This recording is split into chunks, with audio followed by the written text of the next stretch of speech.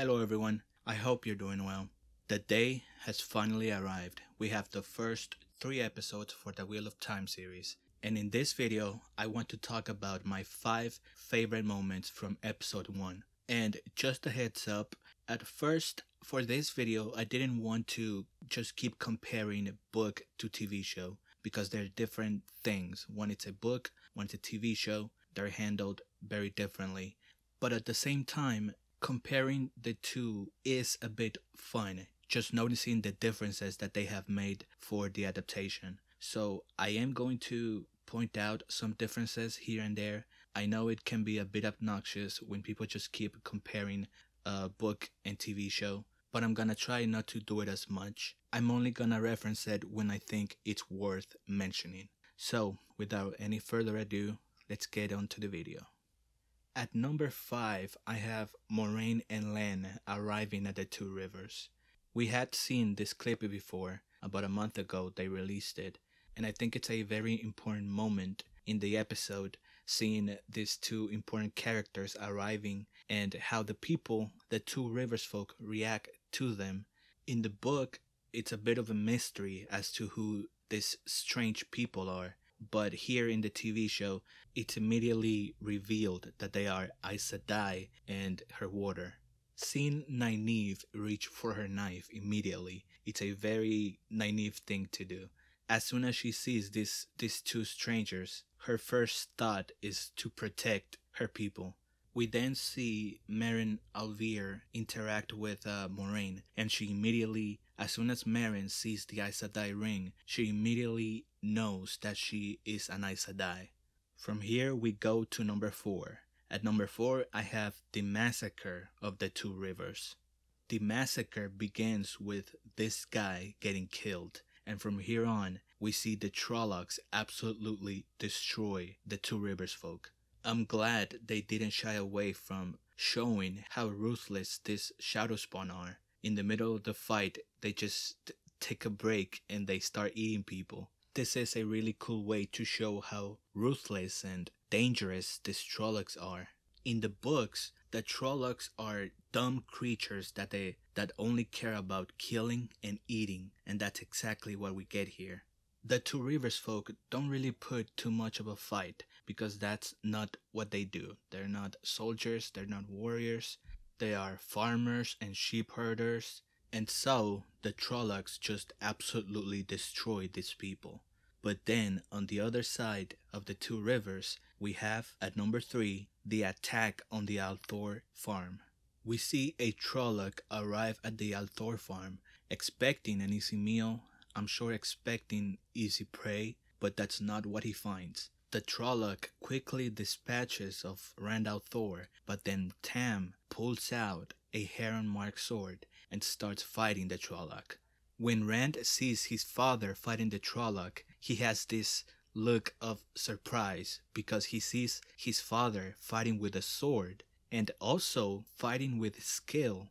Tam al'Thor knows how to use a sword. How did he learn how to use a sword? I'm sure we'll find out. Still, even though Tam Thor puts up a really good fight, the Trolloc gets the better of him. But then Tam Thor is saved by Rand, and Rand kills the Trolloc. I am kind of disappointed that we didn't see Narg. If you've read the book, you know that in this portion of the book, there's a Trolloc that speaks to Rand and tells him that his name is Narg. I was kind of hoping to see Narg in this scene, but we didn't get him. But still, this scene was really good. Tam al'Thor is a badass. From here, we go to number 2, and that's Moiraine and Lan fighting the Shadow Spawn. If you've never read the books and you're wondering how powerful an Aes Sedai can be, well, here we see it. We see Moiraine using weaves of air and fire, just throwing fireballs at the Trollocs.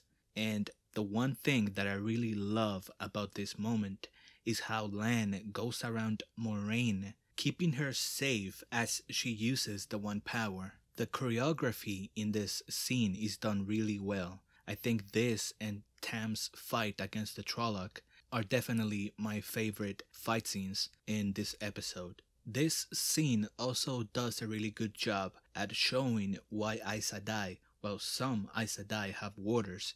An Aes Sedai can just focus on using the one power and killing the Shadow Spawn with the one power, and her Warder can just keep her safe. Whenever something gets too close, the Warder takes care of it.